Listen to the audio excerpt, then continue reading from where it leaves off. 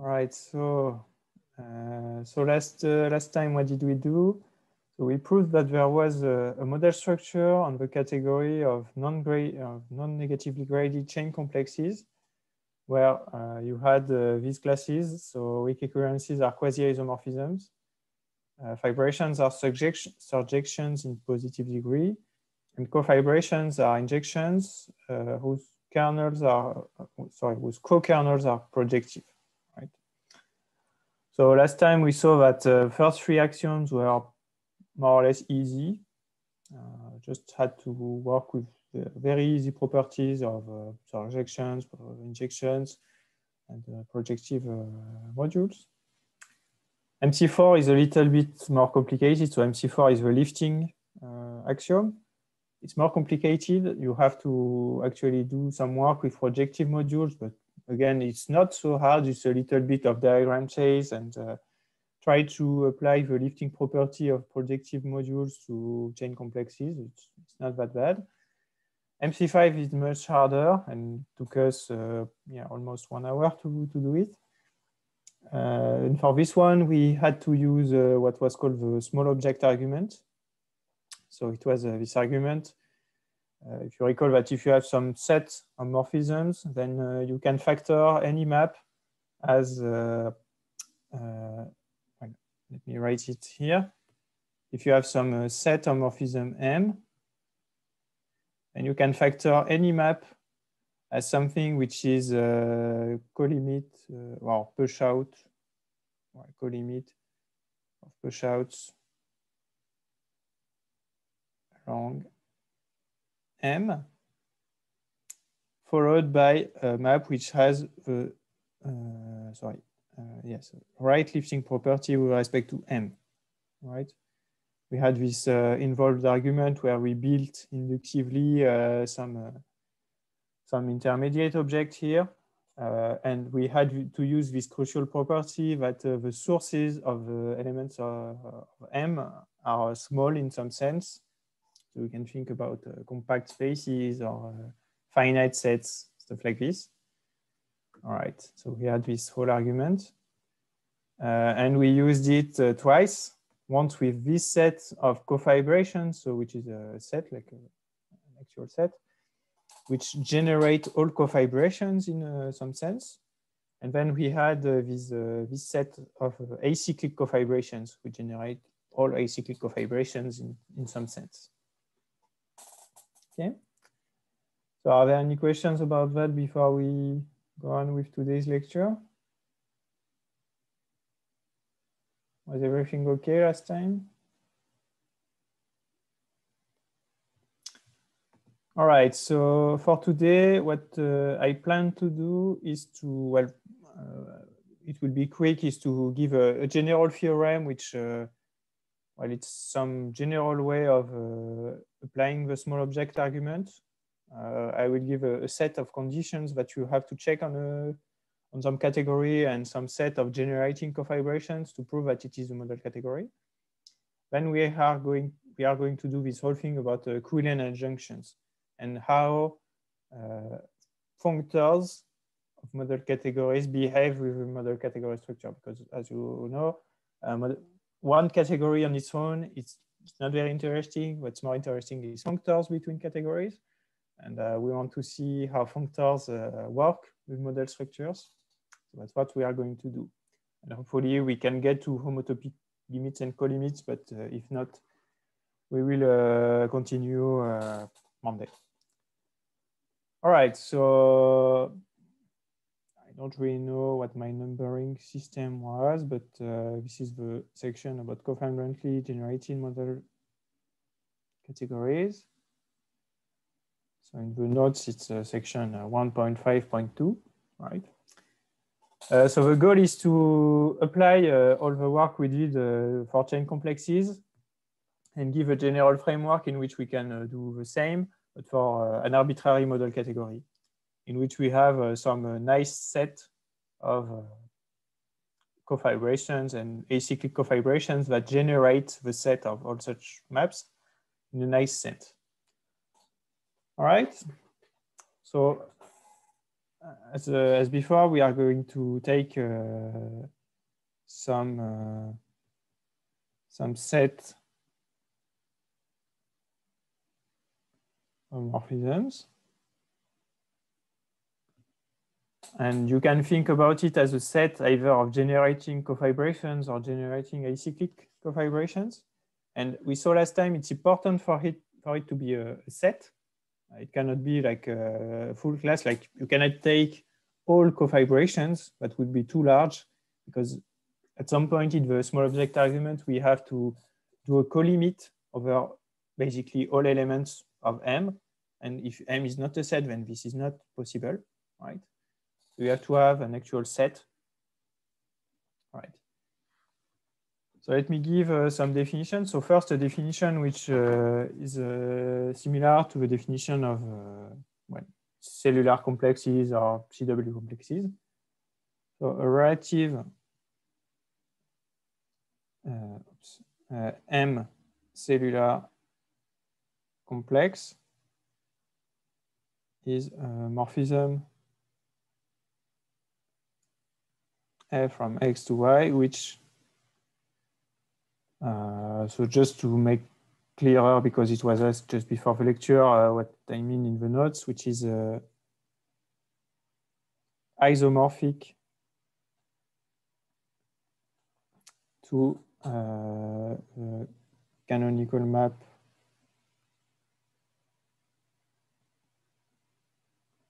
from x0 to the colimit of xn for n in n, where xn in n is a diagram where for n, xn plus 1 is the push out. So you have xn here you have some AI, BI, FI. Here it's a push out for some I, well, some uh, FI, right? Basically, it means that you start from some space and then you glue cells. Uh, so you can think about these uh, kind of things as cells, right? Uh, you, you glue cells along uh, on, uh, on xn and you get xn plus one. And you do it maybe an infinite number of times and you get uh, what is called a relative cellular uh, complex. Uh, so in the notes, I'm talking about uh, ordinals and stuff like that. Um, if you don't know what ordinals are, for now, you can basically forget about it. You can just think about diagrams indexed by natural numbers. Uh, basically, ordinals are some way of uh, doing uh, this kind of inductive uh, stuff, but, but, where you it's larger than n. For example, you could have, uh, I don't know, maybe some uncountable induction or things like this.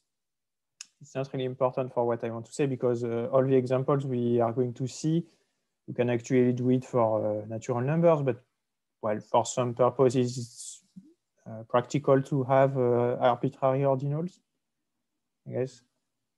Like for example, one difference is that here, you know, I cannot uh, glue an infinite number of cells, take the colimit, and then start gluing again, right? Uh, maybe I, I could want to do that. Uh, that would be allowed, but uh, I would have to talk about ordinals to explain it properly, so I, I would not. anyway, uh, right, so these are uh, relative cellular complexes uh, and an M cellular complex is a space Y such that the canonical map from the in initial object to Y is relative M cellular. So for example, uh, in, uh, in, top, uh, CW complexes are examples of cellular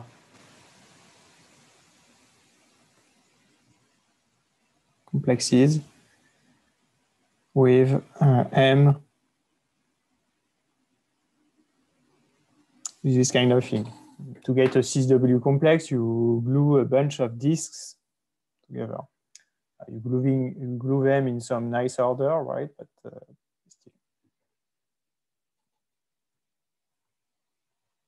All right, so any questions about this definition? I think if you understand what a CW complex is, this should not be a surprising definition.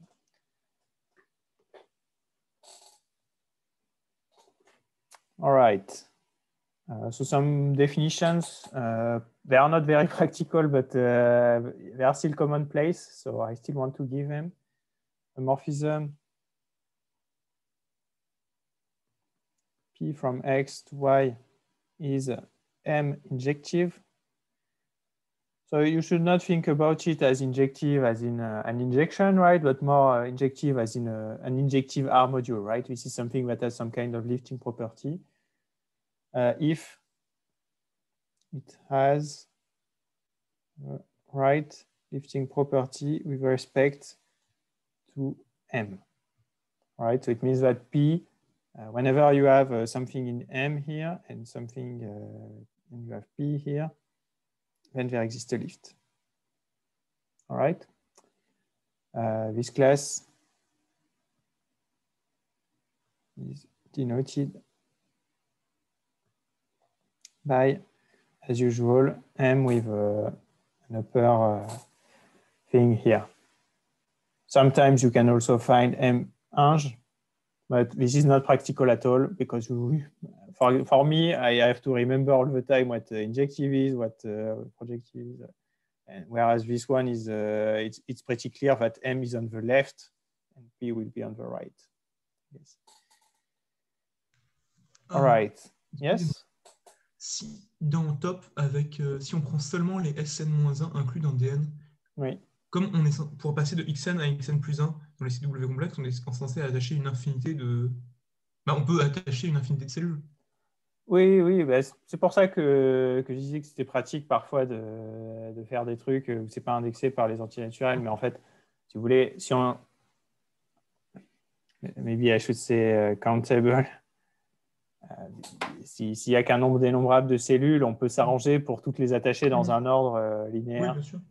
Euh, si c'est pas dénombrable, là, bon, il faut se débrouiller, il faut faire, il faut, il faudra parler des ordinaux, mais Okay, merci.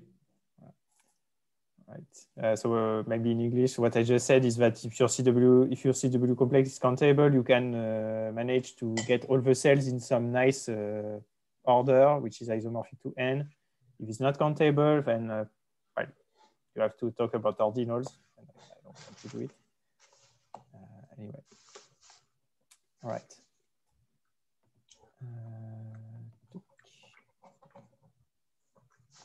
Pardon, je mets en, en muet. Uh, voilà. Uh, another definition, a morphism is said to be M cofibrant if it can be, uh, sorry, if it has a, a left lifting property with respect to this thing here, uh, the class of all such morphisms is, so it's a bit complicated, right? You take M, you take all maps which have a right lifting property with respect to M, then you take all maps which have a left lifting property with respect to all maps which have a right lifting property with respect to M. Uh, so something obvious is that M is included in uh, this. Usually the converse is not true. All right. Uh, it's also sometimes denoted as M MCOF, but I don't really like this notation. Oh, and here uh, the notation, uh, I forgot to say, is M cell for the class of all such morphism. All right. All right. So as a definition, model category C W C F is cofibrantly generated if there exists uh, a set sets I and J homomorphisms. So this is uh, I, this is J, right? Don't hesitate to ask me if you if it's not clear which one I'm talking about. Uh, it's difficult to, to write them in a way which is uh, not uh, not very similar. Uh, so this class is the set of uh, generating cofibrations. This is, this is the name, right? And this is generating acyclic cofibration uh, such that well, you have a, a bunch of properties. So acyclic fibrations are exactly the maps which have a, right lifting property with respect to generating cofibrations. Fibrations, you have a similar uh, characterization. Uh, the sources of elements of I are small uh, with respect to uh, J cell, oh, sorry, it should be I cell. And you have a, a similar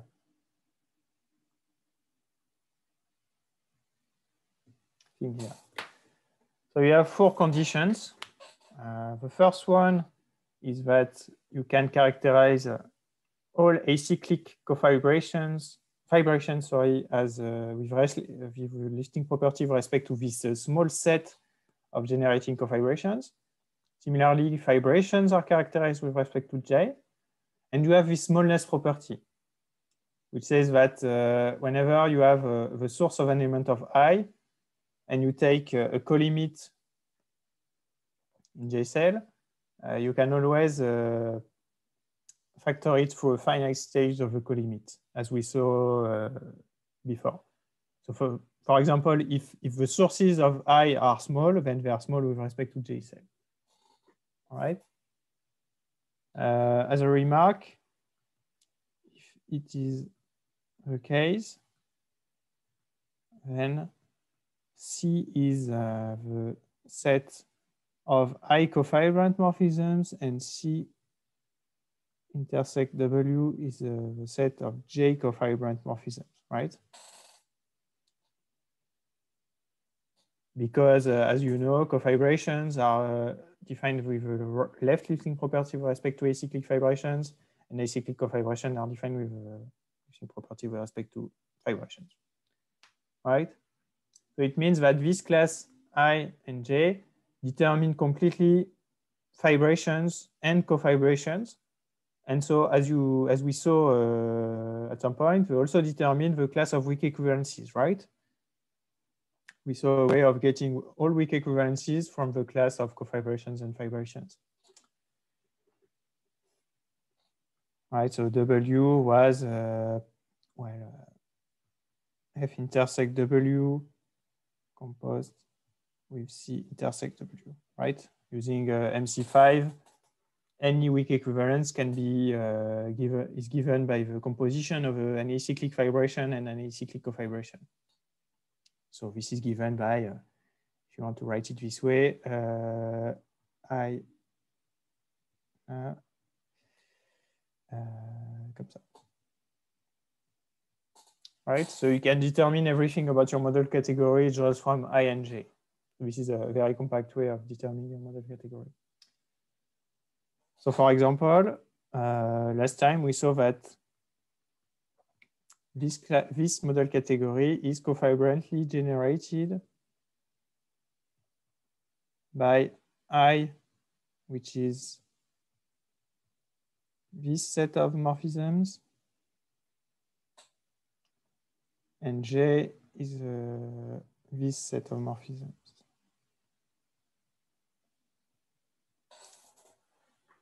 All right. So it means that we to we just need to know about these uh, classes of morphisms to, to determine the model category.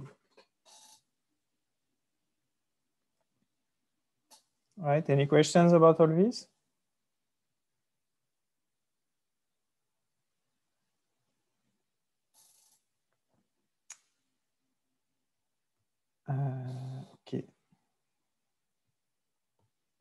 So I, will go quickly. After that, I will state a theorem which will tell you how to, uh, to prove that something is a cofibrantly generated model category if you just uh, give some these uh, classes of morphisms.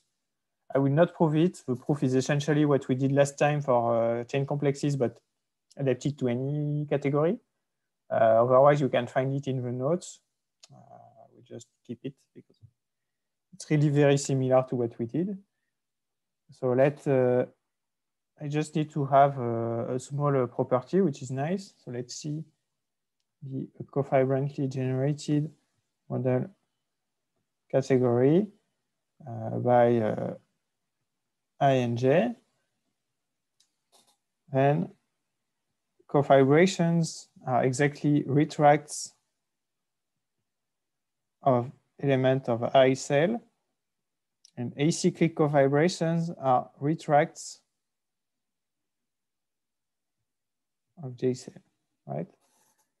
So this is uh, something that we mentioned at some point. For example, for topological spaces, I said that uh, cofibrations are precisely retracts of uh, generalized uh, cellular complexes. Uh, this is this kind of statement, right? And similarly, uh, acyclic cofibrations can be determined as retracts of element of J cell. Okay, so the proof uh, so let us prove that uh, C is given by retracts of I cell. The other one is uh, identical. Right.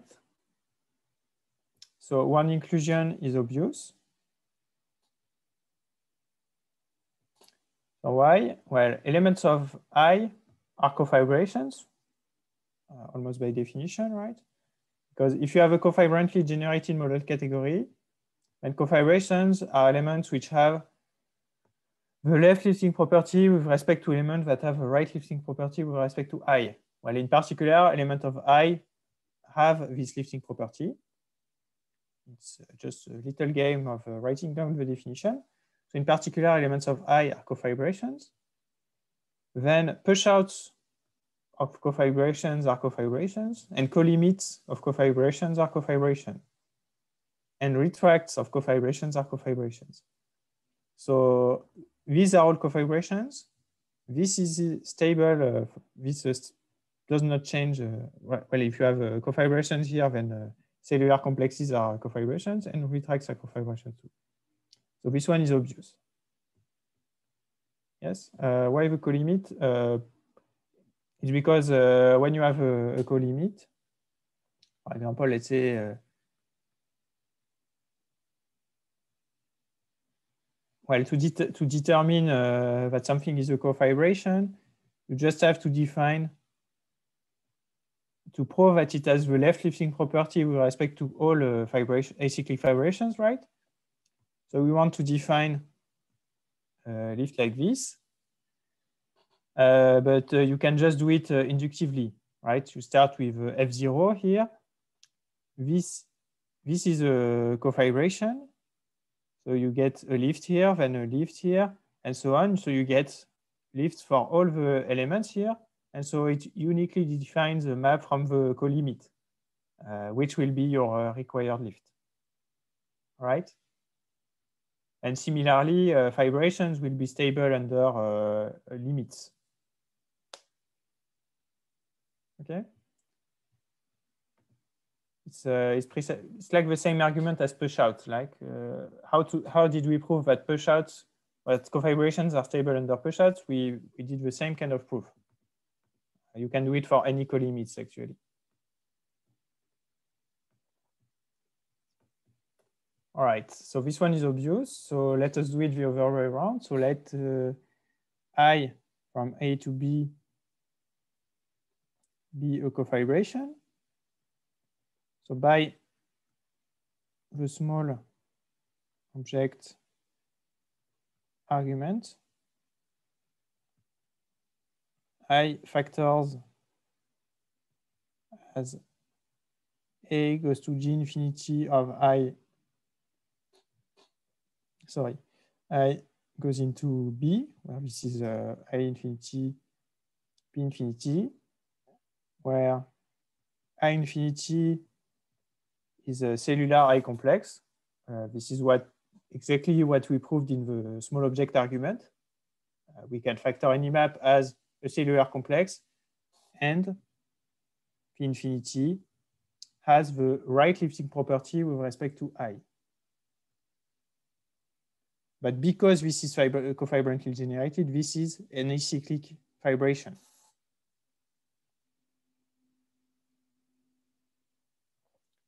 All right. Therefore, you have uh, something like this.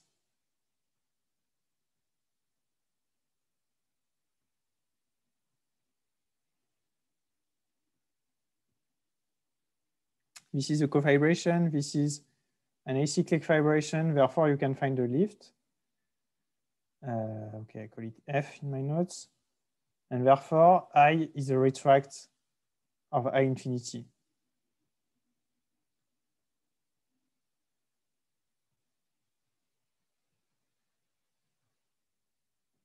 Uh, sorry, this is G infinity. This is uh, B, this is I, this is B, this is F, and this is uh, P infinity. Uh, so why is I infinity in J cell? So you have to go back to the small object argument. Uh, if you let me maybe show it to you uh, from last time. Uh, where, do, where was it? Uh,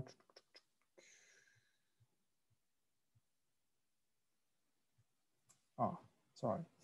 we have to find it. Uh,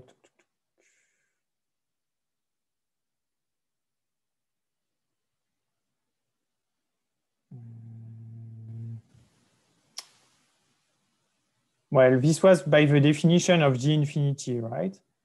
G infinity is given by uh, taking uh, X, then you glue things along element of I, then you have G1, then G2, and so on. And so it's a colimit of things that are uh, precisely from the definition of, uh, of uh, I cell, right? This is from the construction in the small object argument. Mais en fait, oui. Uh, excuse me, but the, in fact, the definition you gave for uh, I cell, mm -hmm. um, we should have only um, uh, a chart from one map.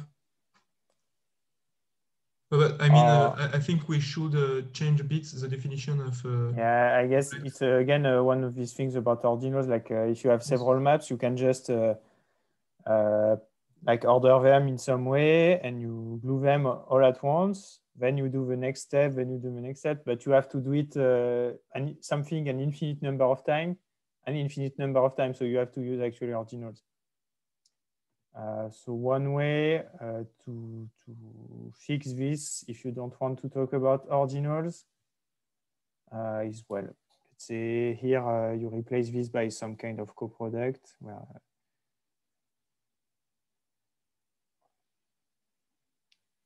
not all, but uh, something uh, in. Then you get the same definition.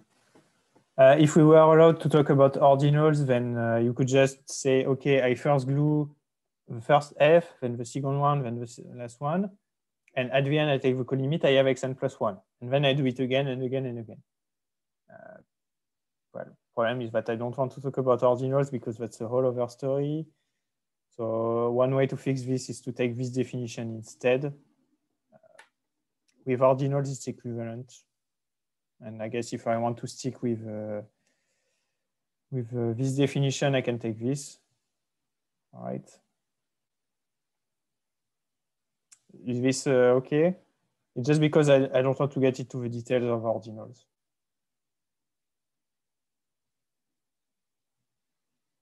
Which, well, I find out it doesn't actually save much time because I have to go back and fix things, but right. So, so is this okay now?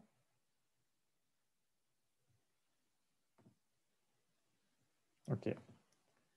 All right, so, okay. All right, so, well, anyway, so this proof, if you accept the fact that A infinity is a cellular A complex, then uh, the fact that it's a retract of infinity, just uh, you just have to use this lifting property here. Uh, right, that you get from the fact that uh, this is this. So now let me just state the theorem, uh, which says, well, when you have some category with some classes of morphisms, when are they given by, uh, when, when do they define a cofibrantly generated model category? Uh, so let's see be a category. Uh, W, I, J, three classes of morphisms. Uh, all right, so then this defines a generated model category if and only if the following conditions are all satisfied. So W satisfies two out of three and is stable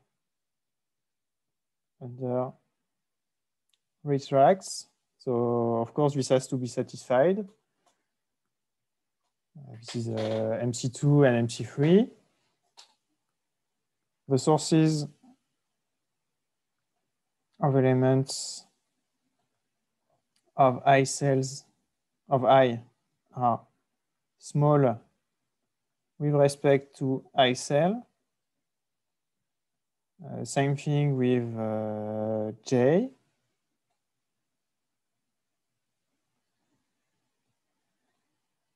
All right, so these are all to, uh, uh, have to be satisfied by uh, what uh, by the definition, of course. Uh, then you have to check that all cellular uh, J complexes are well, what would be cofibrations. So these are cofibrations and these are acyclic. So this is one condition you have to check. this is not an easy condition to check in general. Then you have to check that uh, this thing that should be uh, acyclic fibrations, if you think about it, are included in well, this thing, so weak equivalencies, intersected with what would be fibrations. So these are generating acyclic cofibrations. So this should be, if you take uh, things that have a right lifting property with respect to it, this should be fibrations. This is saying that acyclic fibrations are acyclic and are fibrations, right? And uh, one of these two is true. So in an actual uh, cofibrantly generated model category, both are satisfied, but you only have to check one. You don't have to check both. So either you have this thing here. So these are what? These are cofibrations that are acyclic, must be in what should be acyclic cofibrations. So this is uh, something that is, uh, well, makes sense. And these are fibrations, these are weak equivalencies. So this thing here must be included in this. So the reverse inclusion is this one. All right, so these are the six conditions you have to check. All right. Uh, So someone says in the chat, Hirschhorn do, do, does it very wisely in his book, Model Categories and Localization. Uh, yes, I mean, that's, that's a very good reference. Uh, I do a, a, little proof in my notes, but I, I don't claim my proof is as nice as the one of Hirschhorn, of course. Uh, so the second question is, as we don't prove a theorem, can you explain the reason of J cell definition in the proof? I don't get it from the proof of the theorem. Uh, what do you mean? Uh, why, for example, uh, why this one has to be true?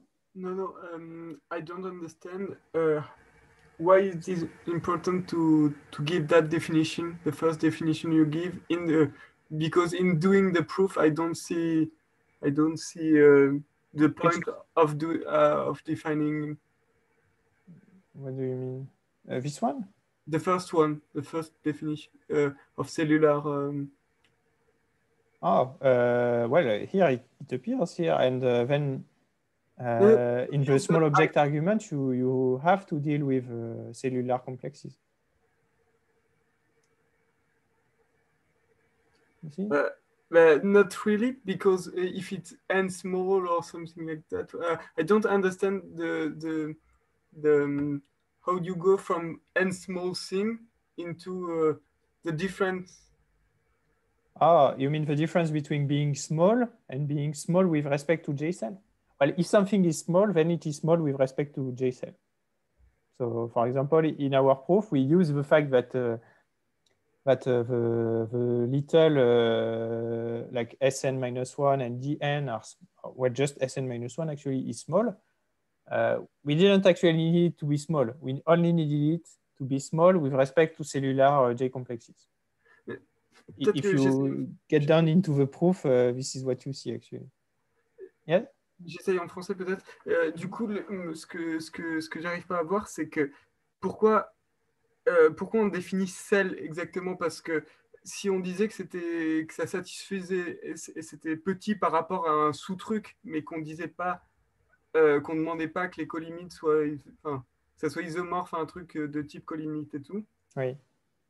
Euh, je ne vois pas où ça intervient de demander toutes ces conditions en plus et, et pour pas, pourquoi on ne demande pas simplement que c'est petit? Ah oui, parce que là, ça fait un théorème plus général. On n'a pas besoin d'avoir des petits objets à la source. On a besoin juste d'avoir des objets qui sont petits par rapport à JCL. C'est plus facile d'être petit par rapport à JCL que d'être petit tout court. Mais euh, si on disait petit par rapport à un, un sous-truc, mais je, je, comprendrais. Donc, c'est à peu près la même chose, mais sauf que là, cellulaire, ça, ça demande quelque. Enfin, il y a une définition derrière. C'est ça que je ne comprends pas dans, le, dans, la preuve du théorème. Euh, c'est juste que, en fait, quand on regarde. Là, si on veut, c'est la version la plus générale possible du théorème. On pourrait demander un truc euh, plus fort, par exemple, être petit ou être petit par rapport à telle classe. Euh, là, c'est vraiment le truc le plus général. Si on regarde vraiment la, la preuve en détail, on voit qu'on a juste besoin d'être petit par rapport au truc J cellulaire. D'accord, c'est ça que j'avais pas compris dans, dans la preuve, mais, voilà. mais bon, du coup, faudrait. Mais, mais en fait, par exemple, dans, très très souvent, maybe I switch to English, uh, very often our uh, sources will be small, uh, period. They will not be small to just with respect to I cell or J cell. But uh, asking something to be small is a stronger condition. So this theorem is uh, more general than one theorem that you could get from just asking uh, sources to be small. Right. So is this okay? Uh, so all these conditions, uh, well, it's it's pro probably clear that they have to be satisfied if you have a cofibrantly generated model category. Proving the reverse implication is uh, well, it's, it's not that complicated. Basically, you just take the proof of last week, uh, not last week, uh, Monday for uh, chain complexes and you, you replace every, every, time you see a chain complex, you replace it with C. And every time you see a sphere disk, you replace it with either I or J, and basically it works, right? Well, it's not even basically, it, it works. so as an exercise, uh, if you want to, to exercise yourself, uh, prove that top. It's not a completely easy exercise. Huh? I'm not saying that. With Quillen model structure is cofibrantly generated by, uh, so for uh, generating cofibration, you take sphere included in the N. And for generating acyclic cofibration, you take a point included by an acyclic cofibration into the N, right? so this is for N at least uh, one, I guess, and this is for N at least zero. All right, so you can check that all the, it's not easy actually, but uh, it's not that bad to check that all these conditions are satisfied. Uh, right. Just small question. Yes. Uh, for simplicial set, we will prove it that it's small in general or just for some cells? That it is small in general. Small in general? Yes. Okay. And for top also? Also, yes. The, this uh, sphere is uh, compact. Uh, so, so it is uh, small. Okay. So for this course, we don't need to, to understand the G cell thing. Well, uh, well, to, to understand the small object argument, you, you have to understand what cell complexes are because they appeared uh, several times. Uh, well, I guess what's your goal after this course? Well, anyway, uh, you can, uh, but yeah, if you, if you want, you don't have to to really be, be able to check this condition, just to be able to check that something is small. All right. Uh, okay. Uh, oh, I said uh, something wrong. Actually, here you have to take more things. You have to take uh, all these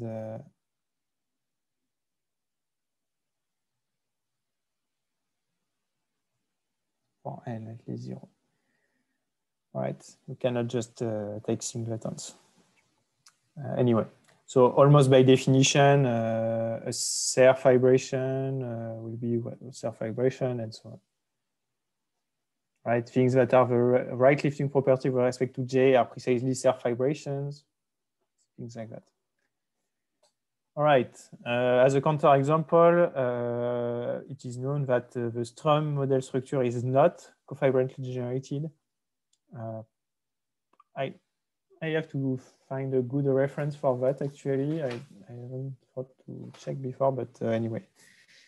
Uh, there are examples of model categories that are not cofibrantly generated. Oh, sorry. All right, so any questions about all this?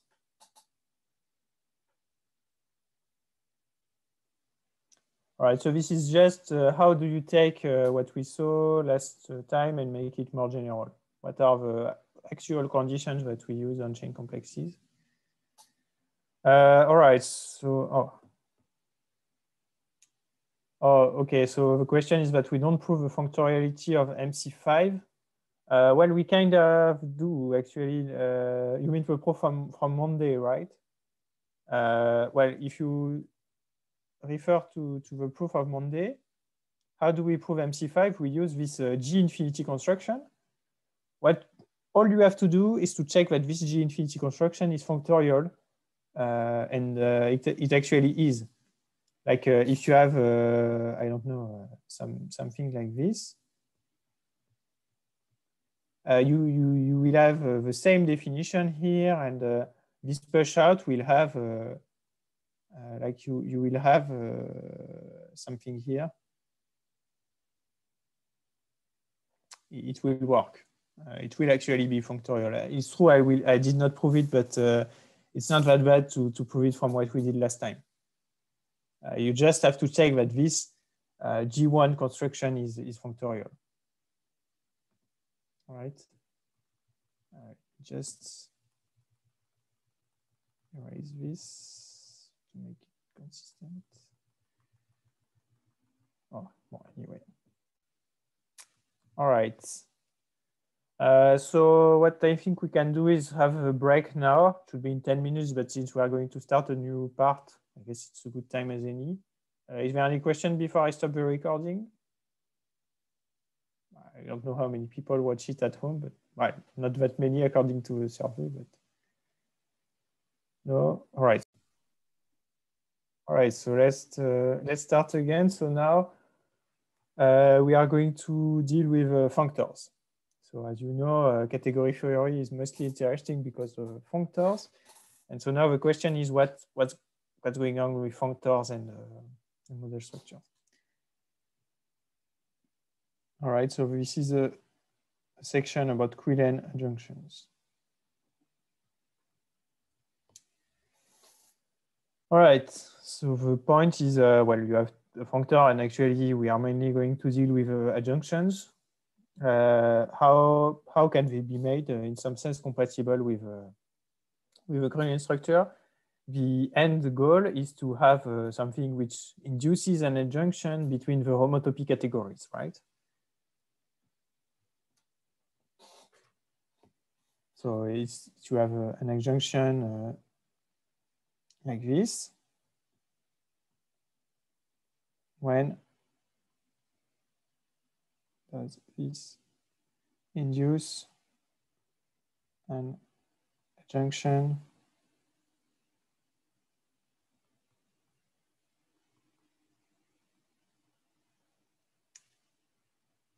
like this. That's that basically the, the goal of uh, what we are going to do. All right, so let me give you the answer uh, straight away. And the point would be to, to prove that it works. Uh, oh, uh, F, so here in my notation, F is the functor and is uh, the left adjoint, and G is the right adjoint. D is the category.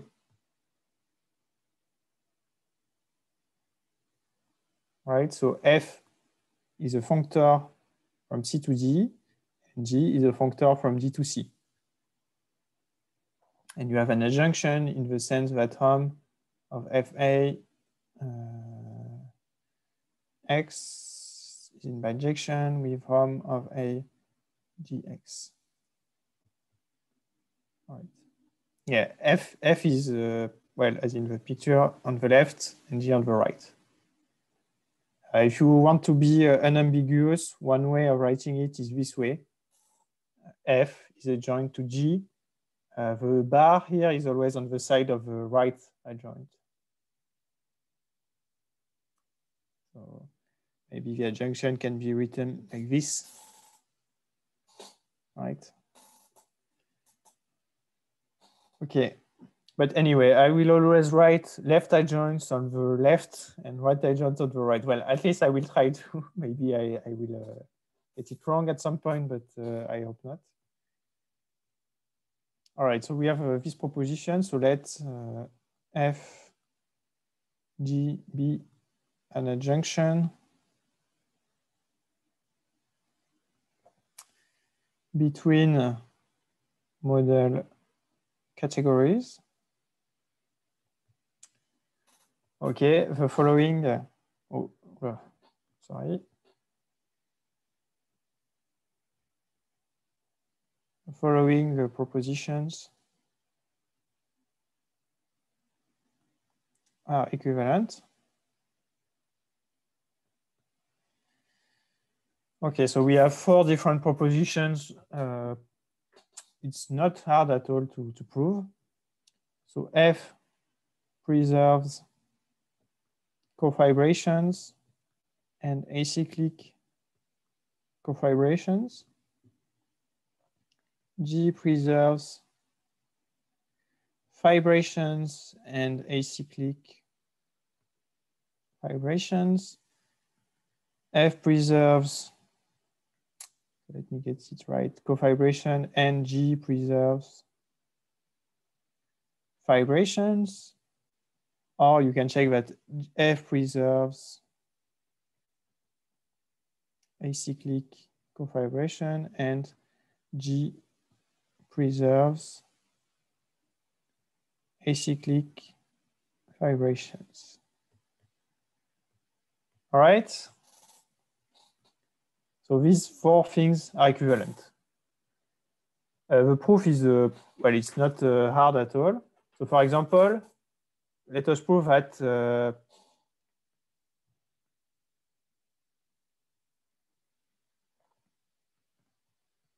F preserves cofibrations implies that G preserves acyclic fibrations.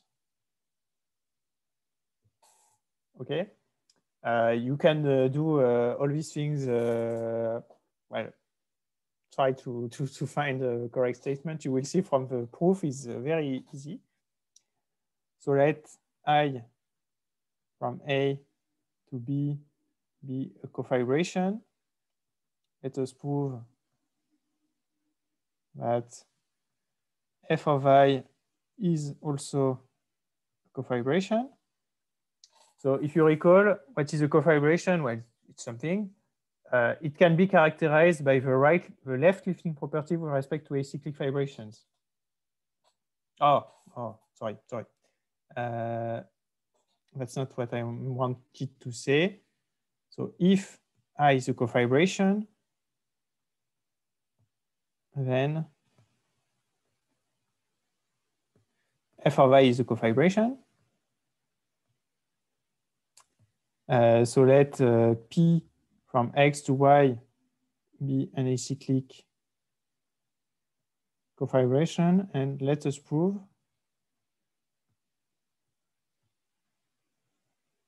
that g of p is also is 2. So you have an you want to prove that something is an acyclic cofibration. One way of doing it is proving that it has the right lifting property with respect to all cofibration. So let I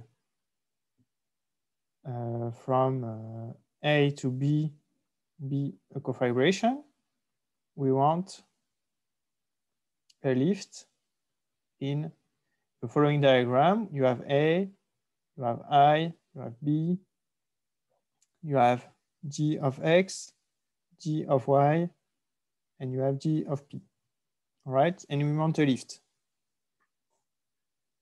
Uh, but uh, by uh, adjunction,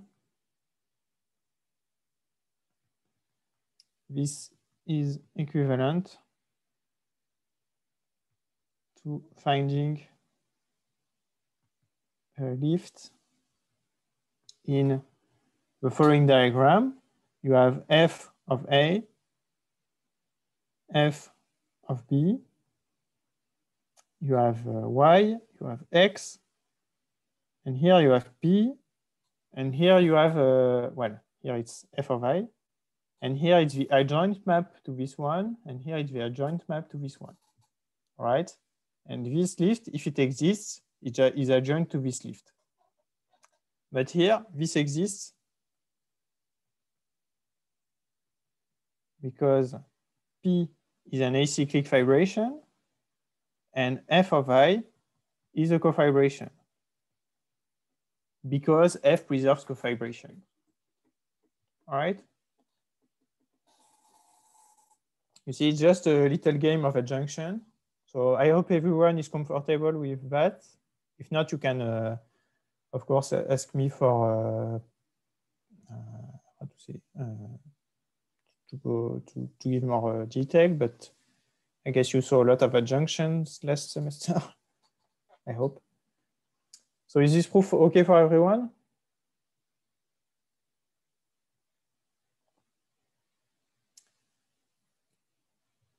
All right, so you can uh, hopefully make uh, the same proofs for all of the other uh, cases and get that uh, these four things here are equivalent. So definition, an adjunction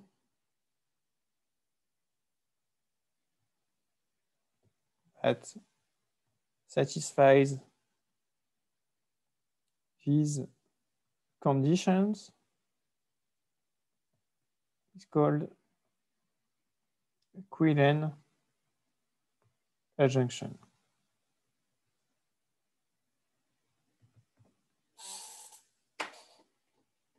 All right.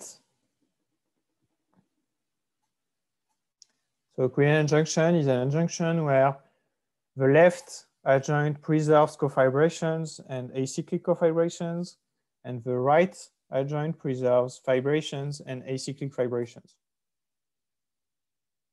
Okay. So for example, uh, take, uh, so sorry, let uh, R, S be two rings. Uh, and F from R to S ring morphisms. Then there is an adjunction F lower shriek like this.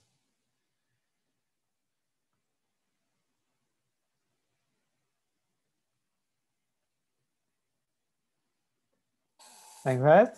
Uh, so I guess you saw this adjunction in the course uh, homology, I hope. Is this okay, this uh, adjunction? So here, if you have uh, uh, some uh, chain complex C star, you send it to S tensor over R with C star. And here, if you have some D star, send it with D star, but where uh, R acts on D using F. Okay. Uh, this is equivalent. So, so, so, just to be sure, this adjunction is okay for everyone, right? If not, uh, let me know. This is a Quillen adjunction for projective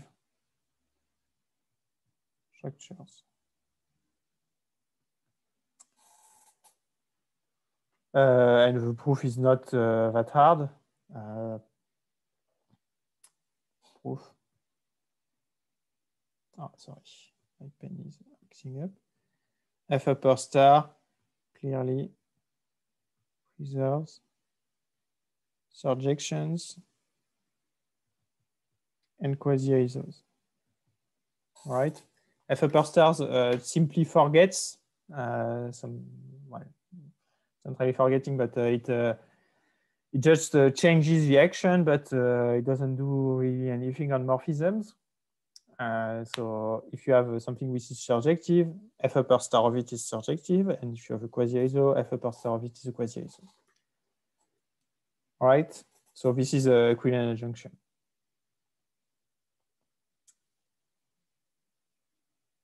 Okay? All good? Okay, so now my goal is to prove that when you have a Quillen adjunction, it will induce an adjunction like this. So this is a little bit complicated uh, because, for example, let's say you want to define a functor from the homotopy category of C to the homotopy category of D, right? Uh, well, you want to have an actual functor. Uh, the obvious candidate is to take F. Uh, the problem is that, uh, well, uh, okay, you can take F, and so you can, uh, write it here, you can take F, go into D, and then localize. And does this factor through the homotopy category? Well, the answer is no. Uh, typically, a Quillen adjoint will not send quasi-isomorphisms to quasi-isomorphisms. This is uh, an issue. Uh, as you can see, it sends acyclic cofibrations to, cofibra to acyclic cofibrations and therefore to quasi to weak equivalences. But a general weak equivalence will not necessarily go to equivalent equivalence. So in general, there will not be a functor like this. So we have to, to work a little to, to do it. And to, to define this functor, this will be called the derived functor. Uh, and uh, derived in the same sense that you saw in, uh, in, the, for example, in the homology course. All right. So let uh, C be a model category and H an arbitrary category. You can think that uh, this category is the homotopy category of D, right? At the end, it will be this, but for now, it can be any category. So I'm going to give a definition of a derived functor. Uh, this is a bit uh, complicated. So a left derived, ah, sorry, and uh, f from C to H functor. And actually, this functor will actually be the composition of f with a localization, if you think about it. Uh, so a left derived functor of f is, all right, the data of, first of all, a functor LF, denoted like this, from the homotopy category of C to H, a natural transformation. Let's call it uh, alpha that goes from LF composed with a localization to uh, F. So where uh, lambda is simply the localization functor.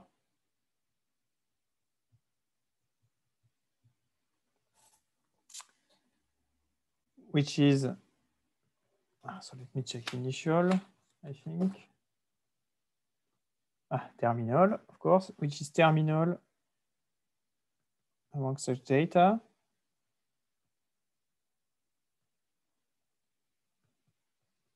i.e.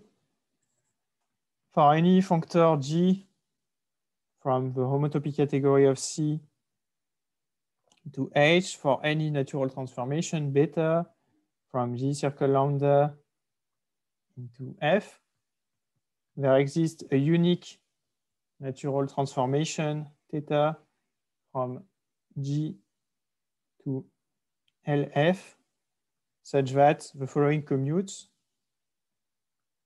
G circle lambda goes to F, so this is beta. Here this is theta circle lambda, this is LF circle lambda, this is F.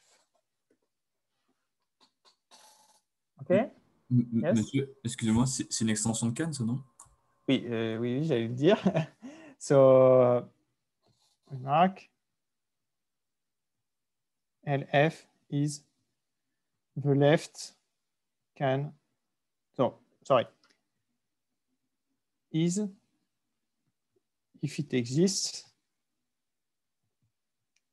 is the left can extension of f along lambda. All right. And similarly, uh, I'm sure you can guess a right derived functor of f is uh, where you have uh, rf goes from the homotopy category of C into H. You have a natural transformation, uh, how do I call it, uh, epsilon, from F into RF circle lambda, uh, which is initial among such data. So you just take this diagram, you reverse everything. All right? And of course, this is a right Kan extension of f along lambda. All right, so if you know Kan extensions, for example, if you went to the homotopy one course, then this should be familiar to you. Uh, if not, uh, well, it is what it is. It is uh, essentially the best approximation of f that factors through lambda. Euh, monsieur, excusez-moi, pour une extension de canne à gauche, est-ce que la, transformation naturelle ne devrait pas être dans l'autre sens? Euh, euh, alors.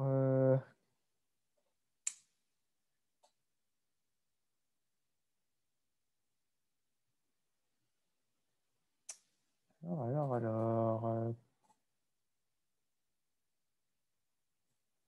All right, so this definition is correct. Uh, maybe the Ah, I, I think I remember that there is something a bit strange, which is that the left derived functor is actually the right Kan extension, and uh, this is the left. Ah, I have to check. Um, because in my notes, I, I wrote left, right, then I thought, no, it cannot be wrong, correct, but actually, now that you say it, I think there is something like this. Anyway, this definition for left derived functor is correct. Uh, that's for sure. Uh, maybe the left derived functor is the right Kan extension. I have to check again. Uh, but anyway, this definition is correct for sure.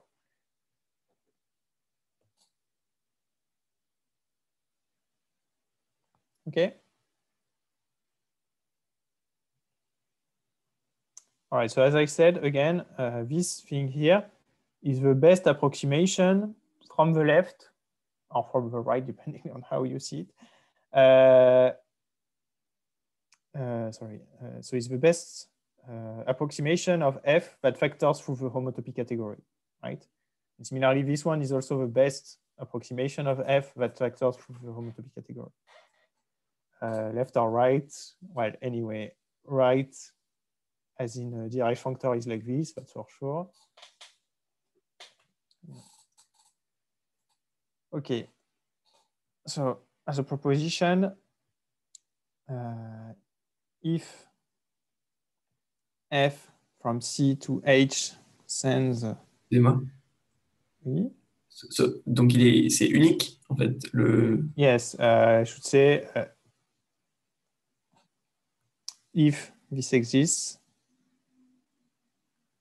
then this is unique up to natural ISO that makes the obvious diagram commute. Right, so if if a left derived functor exists, then it is unique up to natural isomorphism, and the, the natural isomorphism will make the, the obvious thing commute. Like for example, here, if you have uh, another uh, left functor, left derived functor, then there will uh, exist a natural isomorphism theta that will make this diagram commute. Similarly for right derived functor. Right, but again, if it exists, in general, they will not exist. Uh, let me give an example of a criterion for which uh, these things exist. Sorry, so if uh, f from C to H uh, sends uh, uh, acyclic cofibrations to uh, ISO, then LF exists. And if it sends, uh, of course, acyclic fibrations ISOs, then RF exists. All right, so as you can see, uh, essentially, let us go back to, to the definition of a Quillen adjunction. A Quillen adjunction, the left functor sends acyclic cofibrations to acyclic cofibrations. So in the localization, they become isomorphisms. So the left functor of the Quillen adjunction will uh, satisfy the proposition, the first case. So its left derived functor will exist. Similarly, the right one will send the acyclic fibrations to acyclic fibrations and therefore to uh, isomorphisms in the localization, and therefore its uh, right derived functor exists. So let me write the corollary uh, straight away. So if uh, f is a Quillen adjunction, then lambda circle f. So you have to post-compose by the localization and meet the left derived functor. And lambda circle G admits a right derived functor. Right, the proof is exactly what I just said. F will send acyclic cofibrations to isos, and therefore this will, uh, sorry, it will not send to isos, it will send to acyclic cofibrations, and so therefore this will send acyclic cofibrations to isos. Similarly, this one will send acyclic fibrations to isos. And so let me make a definition. Uh, a total, sorry, let f, oh, let f g be Quillen adjunction. The total left derived functor of f is the left derived functor of lambda circle f. Uh, it is denoted by, so this is an abuse of notation, right? This is also denoted LF. It goes like this. Similarly, total right derived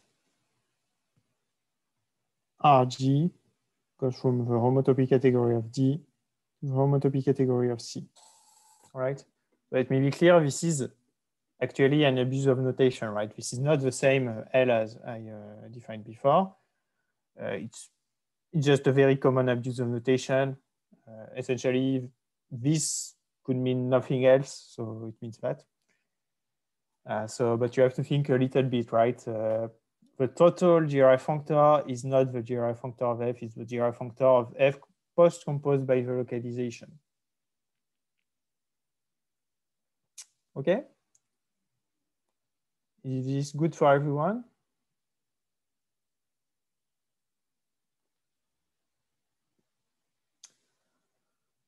All right, so uh, we want to prove that if f uh, sends acyclic cofibrations to isos, then the left derived functor of f exists.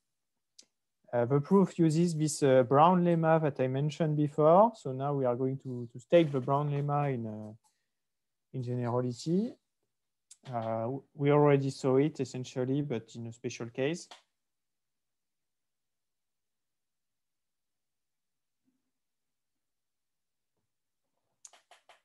Uh, essentially tells you that uh, if a functor uh, behave, behaves nicely uh, on uh, acyclic cofibrations between uh, cofibrant objects, then it behaves nicely on weak equivalencies between cofibrant objects.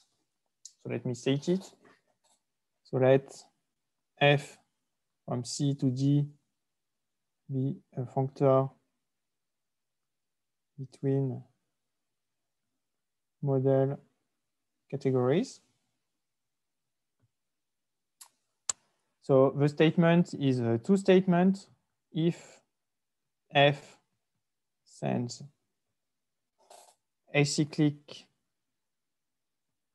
cofibration between uh, cofibrant objects to Uh, weak equivalencies. So I have to make sure I don't try something wrong. Then it sends weak equivalencies between cofibrant objects to weak equivalencies. All right, so this is exactly what I said. If you, so there is the, the Brown lemma is in two parts. There is the cofibrant part, there is the fibrant part. The cofibrant part tells you that if you behave nicely on uh, cofibration between cofibrant objects, then you behave nicely on all weak equivalencies between cofibrant objects. And of course, I'm sure you can uh, guess what uh, the dual statement is. If you send acyclic fibrations between fibrant objects to weak equivalencies, then you send weak equivalencies between fibrant objects to weak equivalencies. Okay. So we already uh, saw something like this. Uh, it was in uh, what proof? I'm not sure. Uh, anyway, doesn't matter. Uh, we are going to prove it again. Uh, for fun, uh, we are going to do it uh, for the cofibrant part, whereas before we did for the fibrant part, but uh, there is no real difference. It's just the dual statement. okay, so assume that we are in the first condition. So we send acyclic cofibrations between cofibrant objects to weak equivalencies. So let I, oh, no, sorry, F. From A to B. Be a weak. Equivalence. Between cofibrant objects. Uh, we saw before that uh, A goes into the coproducts and B also are cofibrations because A, B are cofibrant, right? We had the Vispe-Shout diagram.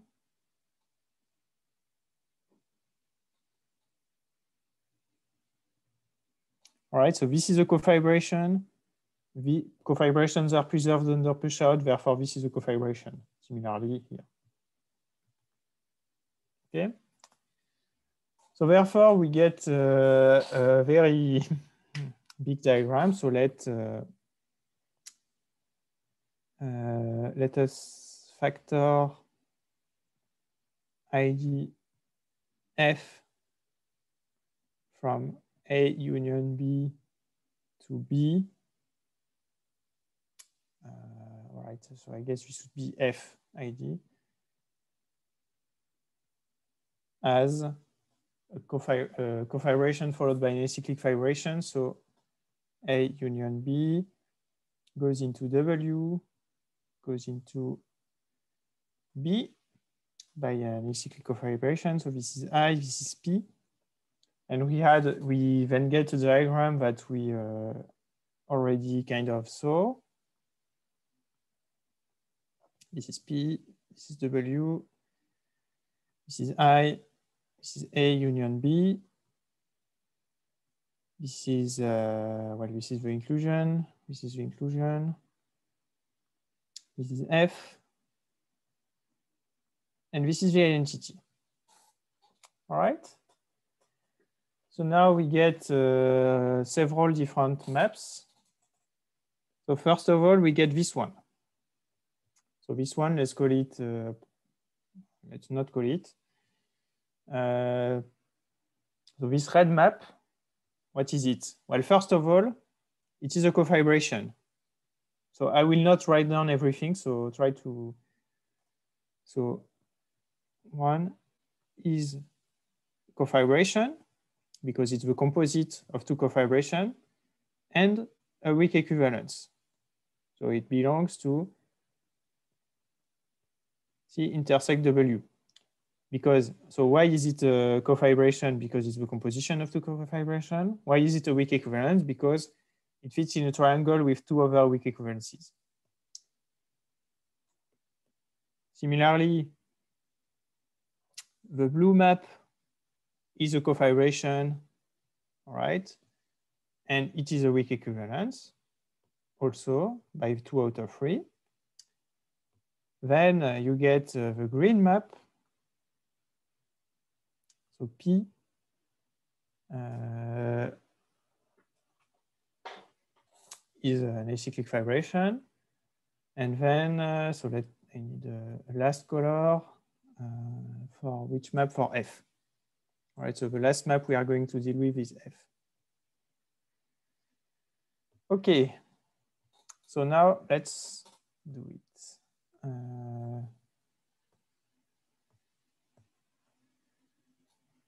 All right, so F of one is also an acyclic cofibration because, well, this is cofibrant. This is also cofibrant, right? Because uh, the map from the initial object vectors through B by a cofibration, this is also a cofibration, so this is cofibrant. So by hypothesis, F sends it to an acyclic cofibration. Similarly, F of 2 is an acyclic cofibration. All right, so if we draw the F stuff,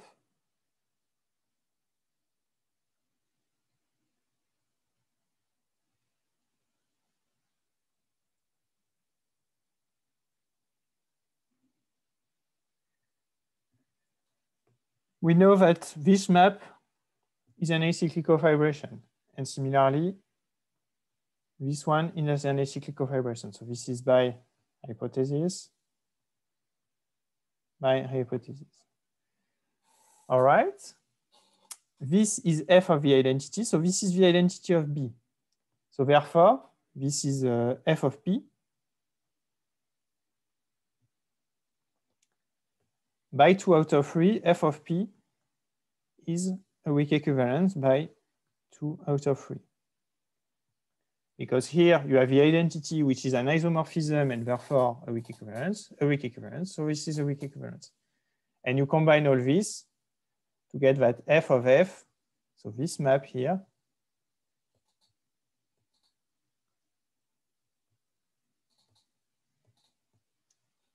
is a weak equivalence. Alors, uh, so very question in the chat, why is uh, f of one and f of two cofibration? So the hypothesis is that, so one, for example, one is an acyclic cofibration. And, oh, yes, uh, the hypothesis is not that it changes to acyclic cofibration, but just to weak equivalences. But we don't actually care that uh, it's a cofibration. Th thanks for noticing this if we had an actual Quillen uh, adjunction, then it would be a cofibration, but here it's, it's uh, an actual, actually even more general than that. Okay. In fact, uh, as you can see, we don't even, we don't really have uh, cofibrations or anything like this here. I could have made a statement about, uh, I don't know, isomorphisms or really any class of maps in which the identity is and uh, that satisfies two out of three. All right. So anyway, this is a proof of Brown's lemma. Uh, it's a very nice lemma, very useful. Uh, a lot of the time. Okay, so any question? We saw something very similar uh, previously, but now we have uh, we have it in uh, in full uh, well more general statement. It can be made even more general. Like uh, for example, for the first part, we don't even need a model category. We only need a, a category of cofibrant objects, and for the target, we only need something that satisfies two out of three, contains isomorphisms, as I said. But well we are going to apply it to a very uh, restricted set of categories, which are model categories, but it's uh, even more general than that. Okay. So this Brown lemma tells you that if n sends acyclic cofibrations between cofibrant object to weak equivalences, then it sends weak equivalences between cofibrant object to weak equivalences. Oh, sorry. Uh, in particular, if F is a Quillen adjunction, then I uh, will write it this way. Whenever you have a weak equivalences between cofibrant objects, then uh, f of it is a weak equivalence. And whenever you have a weak equivalence between fibrant objects, then uh, G of it is a weak equivalence, all right? So F and G do not necessarily preserve, uh, uh, do not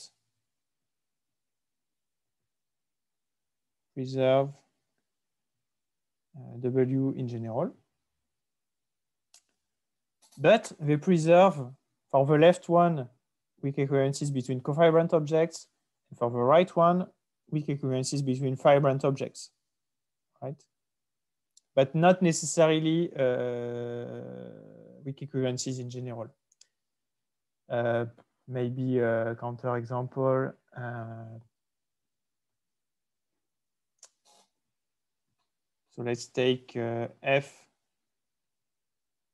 Let's take phi from Z to Z mod 2, the ring map, which is the quotient of ring. And you get uh, this adjunction, phi star and phi shriek between uh, chain complexes of Z modules and chain complexes of uh, Z mod 2 modules. all right. And then you have this chain complex of Z module.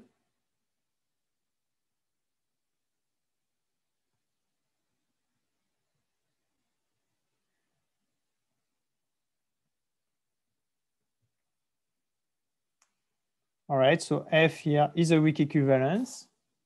All right, it's pretty easy to check. Here, the homology, well, the homology here is concentrated in degree uh, zero but also here, the homology is just Z mod 2 in degree 0, and F is a quasi-isomorphism. But when you apply phi shriek, you get 0, Z mod 2, 0, Z mod 2, 2, 0, 0. All right, and this is not uh, a quasi-iso anymore. And the issue essentially is that uh, this is not uh, cofibrant, right? This is not a cofibrant chain complex, this one. Because uh, the mod 2 is not a projective uh, module. Right, but if you have two projective chain complexes and you have a quasi-iso between the two, if you uh, send it, uh, if you sorry, if you apply shriek to it, this will still be a quasi-iso, right? Essentially, I am telling you that projective modules are flat. Anyway, so is this uh, okay for everyone? So Quillen adjunctions don't preserve weak equivalences in general. Only preserves weak equivalence between cofibrant objects for the left one and fibrant objects for the right one.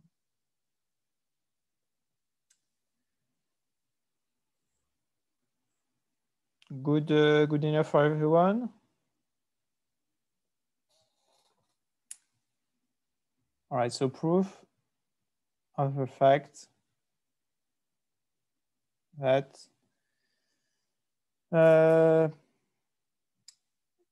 uh, F from C to H sends acyclic cofibrations to uh, between uh, cofibrant objects to isos, then LF exists. All right. This is uh, the proposition I wrote down uh, before. Uh, we saw that it implied that, in particular, uh, Quillen adjunction admits uh, total G-derived functors. Uh, so this is what we are going to prove. The proof is a bit, uh, mm, well, okay, it's not that involved, but all right, so assume that I will write it this way, f of a cofibrant acyclic cofibration between cofibrant objects is an iso. Then, by Brown's lemma,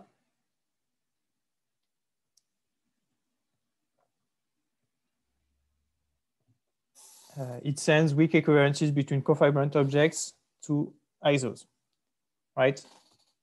Uh, maybe you are going to say, oh, but uh, Brown's lemma was about uh, model category at the target. Uh, and here I have, uh, right, this, this needed to be a model category. But if you want, you can take the model category H, where W is ISO, and C equals F equals H, right?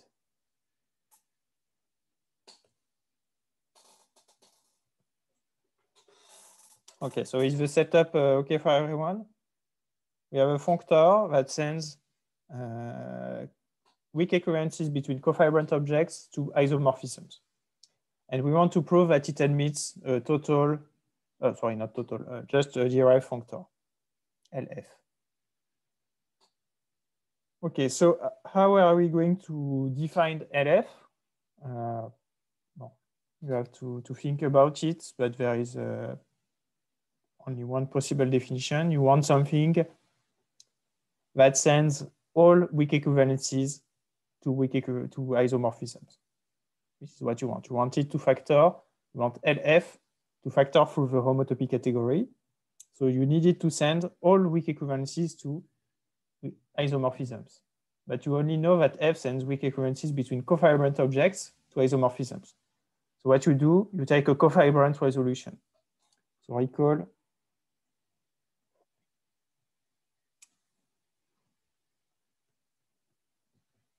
cofibrant resolution like this.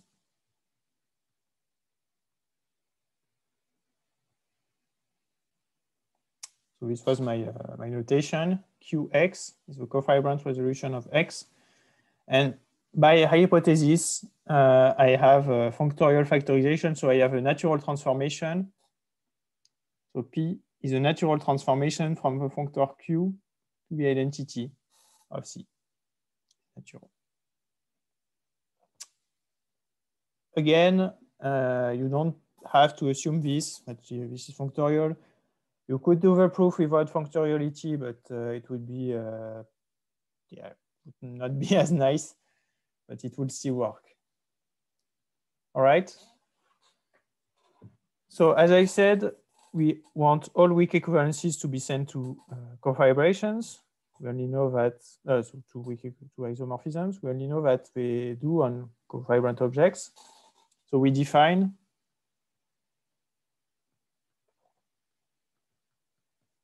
the derived functor as f of qx. All right?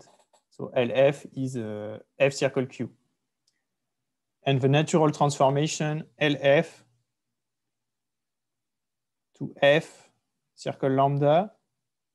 Oh. Uh, sorry, sorry, sorry.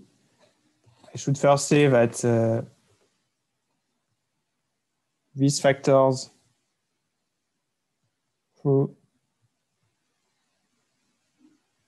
Ho of C because if x to y is a weak equivalence, then you have qx, qy, here you have px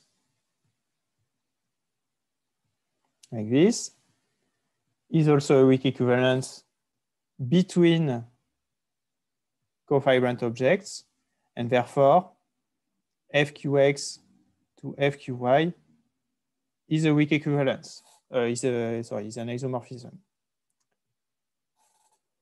Therefore, this uh, functor here factors through the homotopy category. So this defines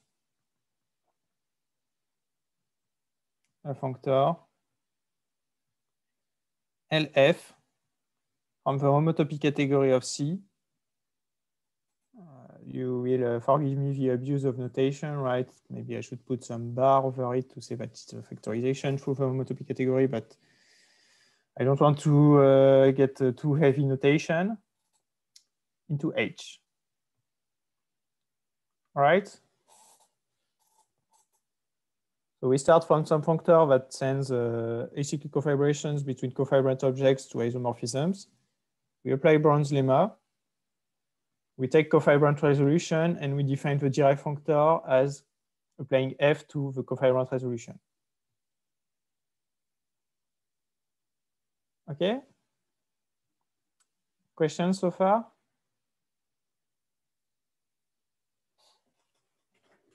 All right. Moreover, P defines a natural transformation. Uh, so let me call it uh, alpha from LF circle lambda to F, right? P is a transformation from Q to the identity. You compose it with F, so you get something from F circle, uh, from LF circle lambda sorry, from some kind of LF to F, and you check that it factors for the localization. This is not uh, an issue.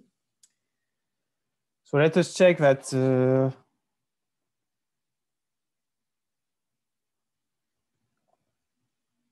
LF alpha satisfies the universal property. So let uh, G from the homotopy category C to H and uh, beta be a natural transformation from G circle lambda to F. And we want for a natural transformation from, uh, so let me check the direction. So we want a natural transformation from G to LF, right? Which is natural and which has to commute with, uh, with uh, alpha and beta. It means that uh, beta x is equal to alpha x circle uh, theta lambda x.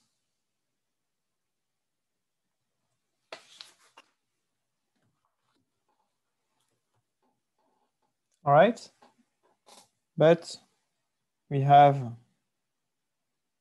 a diagram like this. GQX goes into FQX. So this is uh, the uh, this is beta at QX. Right. Then we have G of PX. GX.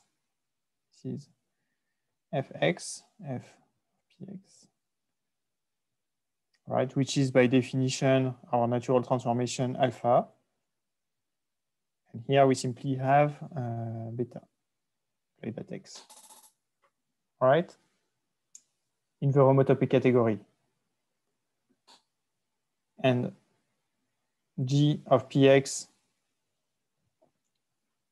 is an isomorphism in H because Px is a weak equivalence.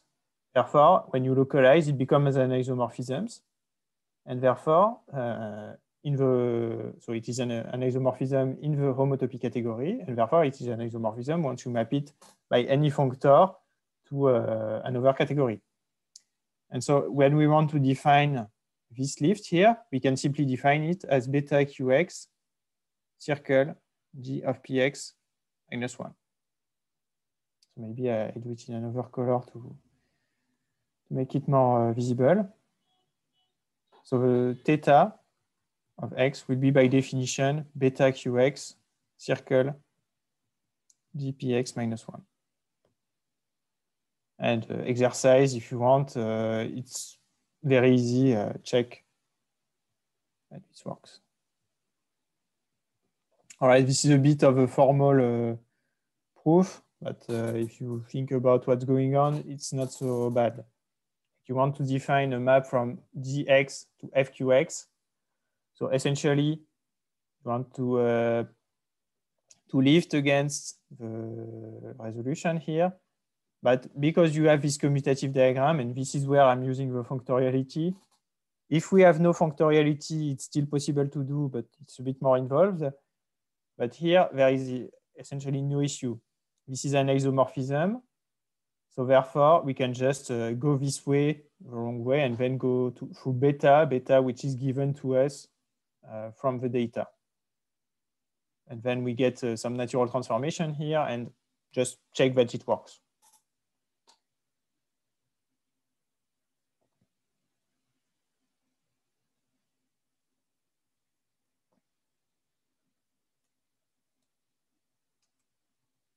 Is this uh, okay?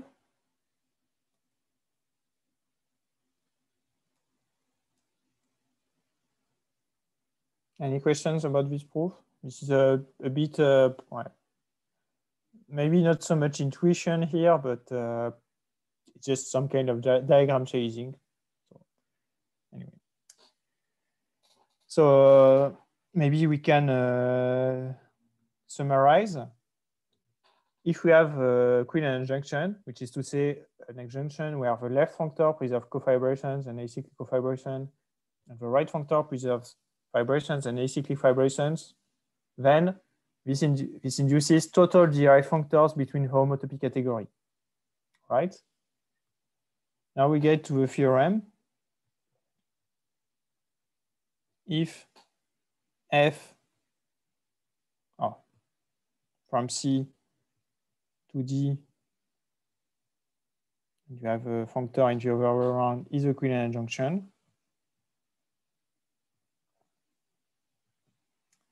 Then LF and RG. So as we saw before, these are the total derived functor. They exist because of what we just proved. Define an adjunction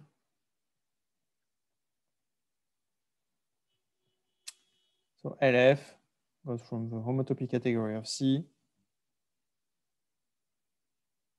to the homotopy category of D. And here this is RG. All right?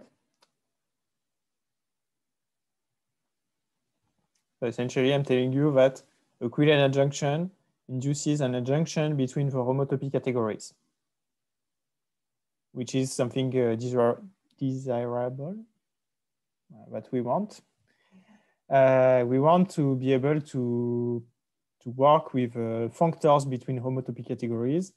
And we cannot just take any functors between model categories, but if we have nice enough functors, and we can only basically deal with uh, adjunctions, uh, if we have nice enough adjunctions, then we have induced adju adjunctions between uh, homotopy categories.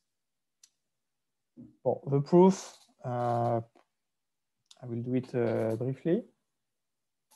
So we want hom of LFA into X, so in the homotopy category of C, to be isomorph in bijection with, uh, oh, no, this is in D, sorry, in the homotopy category of C from A to R GX. Okay. Now, what is LFA? This is F applied to a cofibrant resolution of A.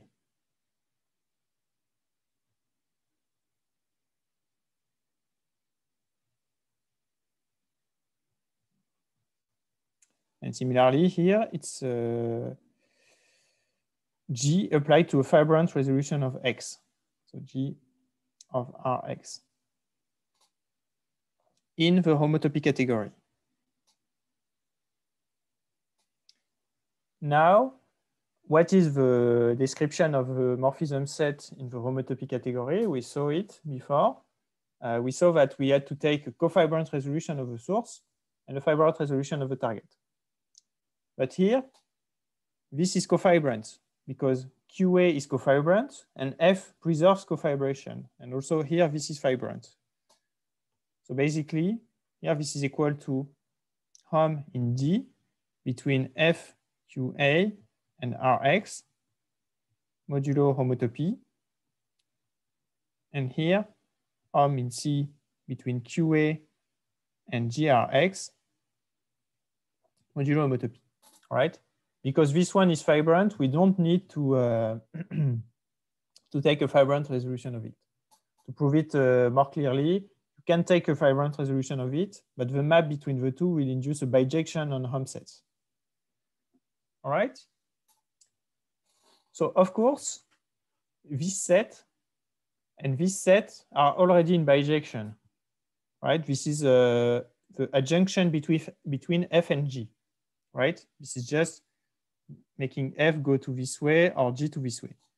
So all we need to do, so we need to check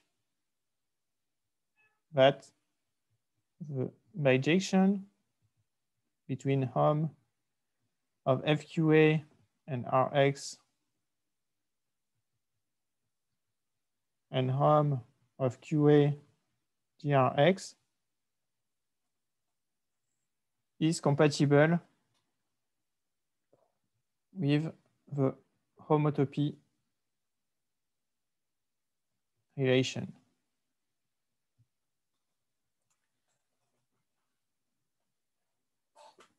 Okay, is this uh, clear for everyone? These two sets are in bijection.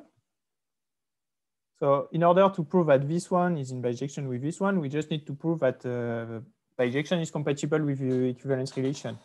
Because then uh, basically it will be the same equivalent relation, but on different bijective sets. All right, so assume that FG, so let us prove that uh, if we have uh, two morphisms here that are homotopic, then their adjoints will be homotopic. So we go from FQA to Rx, R homotopic in D. So take,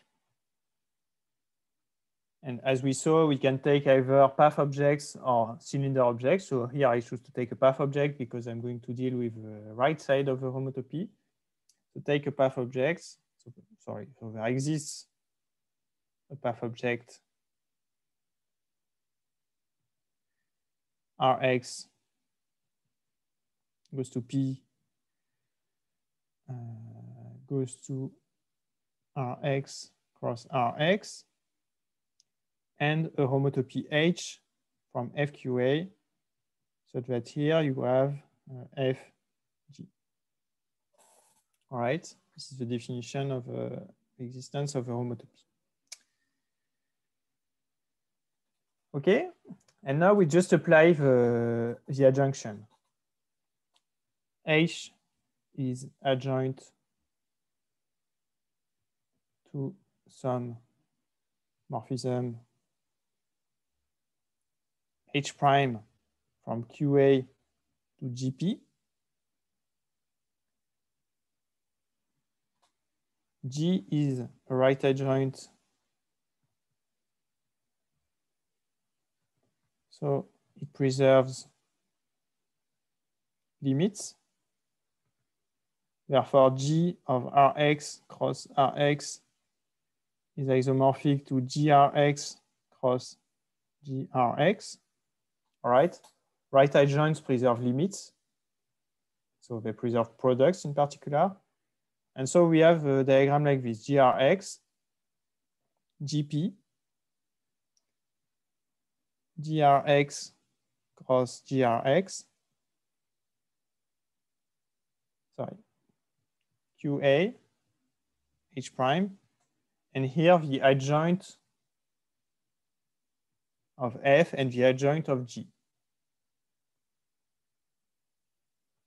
Okay, and I just want to check that this is a homotopy, and therefore this will prove that the adjoint of f and the adjoint, uh, sorry, that this is a path object so this way, this will be a homotopy between the adjoint of F and the adjoint of G. Okay, I'm just using the properties that we saw. But here, this is a weak equivalence between fibrant objects. So therefore, this one is also a weak equivalence between because G sends weak equivalences between fibrant objects to weak equivalences by the Brown lemma. And this is a fibration. And G preserves fibrations. So this is a fibration. So this is a path object. And this is a homotopy between the adjoint of f prime and g prime. So the adjoint of f and g are homotopic.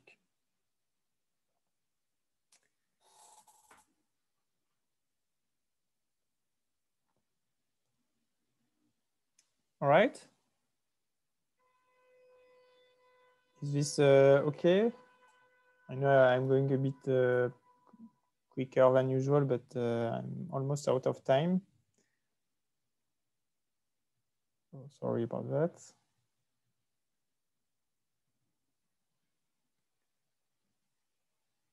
So is this proof uh, good for everyone? Euh, Excuse-moi, juste, Oui. pourquoi P est, fibrant? Ah, euh, parce Euh, que J'imagine que R de X fois R de X, c'est fibrant. euh, comme, comme R de X est fibrant, Ouais. so Rx is vibrant, Ah oui, bien sûr, c'est le... Ok, j'ai compris. ouais. pullback of the map to the terminal object here. Merci. All right, so this is vibrant, and so therefore this, uh, so P is vibrant. Yeah. All right, so any other uh, questions about uh,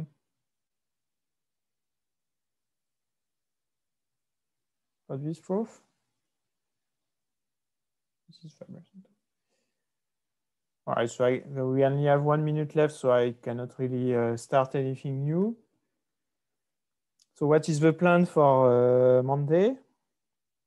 So Monday, uh, so as we saw, when we have a Quillen adjunction, we have an induced adjunction between homotopy categories.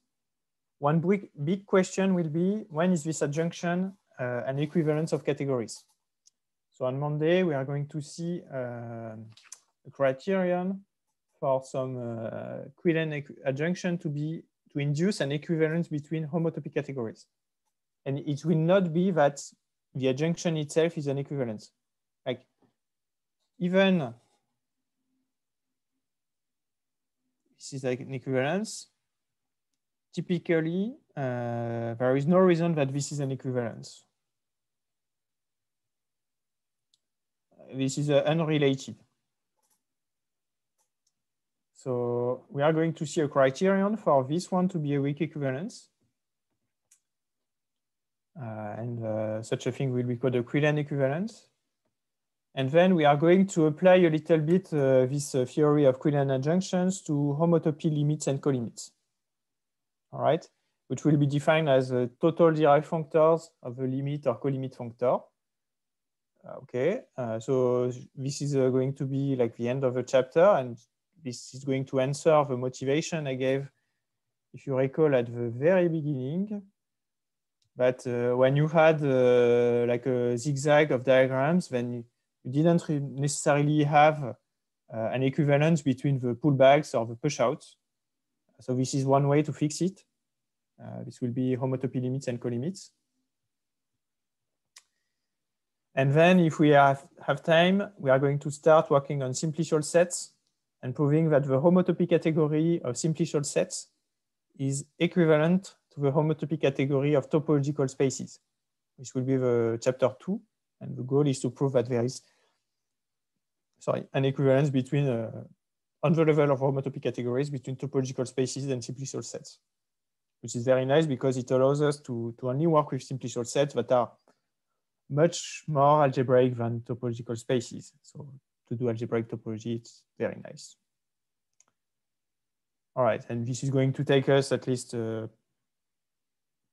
at least a week and a half, maybe two. Yeah, we see. All right, so any questions before we stop for today?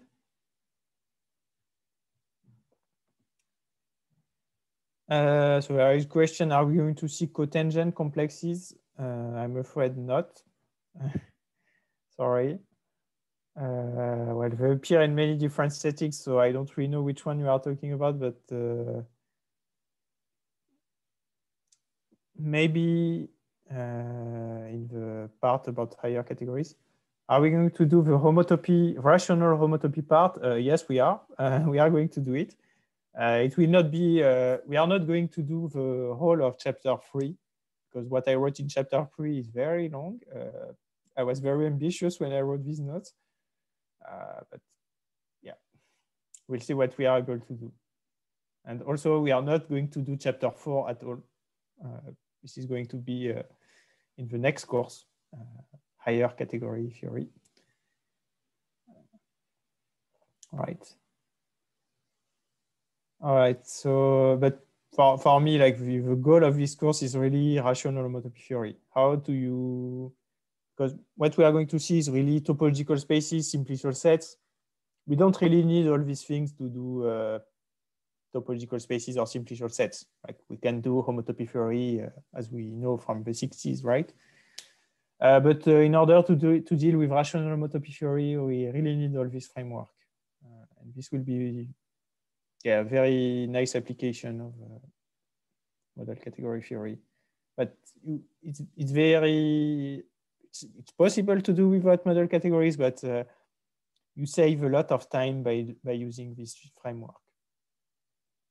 All right. So any other questions before we stop? No? Peut-être une question.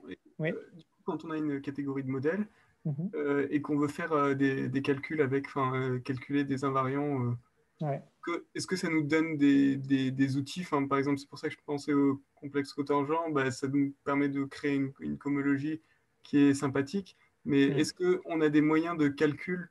Enfin, parce qu'on n'a pas de suite exacte longue en général pour. Enfin, on n'a que ça dans top et dans S7. Donc. Uh, so the question is, are model do model categories provide uh, ways of computing things? Yes and no. I mean, at some point you have to, to get your hands into the machine and actually do computations and model categories will not typically actually help you uh, with these computations. What they are used for is uh, to, like there are a lot of times where you, you, for example, you want to do cotangent complex. So for example, of uh, algebras uh, well, there are a lot of lemmas that you would want to prove about uh, algebras and CD and uh, DG algebras before actually doing cotangent complexes. And model categories are here to tell you, okay, this lemma uh, is from actually a general theory and you don't have to prove it again. You just have to check uh, like five few axioms and then you have a bunch of lemmas at your disposal and then you can start doing computations. Also, it tells you what things you need to compute. Like for example, you have to compute a cofibrant resolution of your DGA to do something nice. Uh, so you have to, uh, cotangent complex, you have to take the derive derivations out of the cofibrant resolution of your algebra. So you, you put your der derivation functor into uh, the model category uh, machine. It tells you, okay, the result is this. So you just have to compute this and you're done but it will not help you do the actual computation. Like it will not tell you, okay, uh, compute the cofibrant replacement, you have to do this. Now it will tell you, okay, there is a cofibrant replacement. You have to apply your functor to it and you get the result. But uh, like, yeah, it, it doesn't really help to do the actual computations, but in some sense it does because it puts everything in one general framework and you know already what computations you have to do. You don't have to think for hours, uh, what is the actual computation you have to do? Just you have to do this computation. That's the way, the way I see it. D'accord. Et est-ce qu'on va voir un petit peu cette façon de, enfin, de, de voir dans un cas particulier le, qu'il faut calculer le, enfin, ce que vous avez dit là, sur le, le remplacement? Uh, uh, okay, so if we have time, we are going to, to, try to apply this to rational homotopy theory and commutative differential graded algebras, uh, where uh, we have some invariants. Uh, but yeah, I guess this course is more about uh, like the general framework. The main examples will be simplicial sets and topological spaces. what we are going to do for next week and the week after that. But for this, it doesn't really uh, help with any kind of computations, I guess. At best, it tells you that I don't know, homotopy groups of a simplicial set defined in a simplicial way isomorphic to the homotopy groups of your space, but it's not really helpful for computations. Yeah. All right. So I hope I hope it answers a bit uh, questions, but uh, yeah, I guess the, the answer is that uh, no, you don't. We are not going to really to concrete computations. I guess it's more like a general setting. All right. So any other questions? I see that some people are already leaving. So, so no, no question. Okay, so let me just stop the recording.